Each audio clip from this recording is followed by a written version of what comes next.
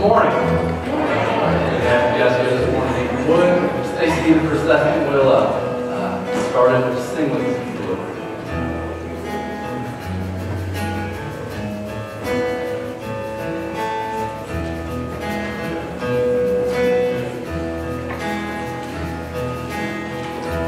I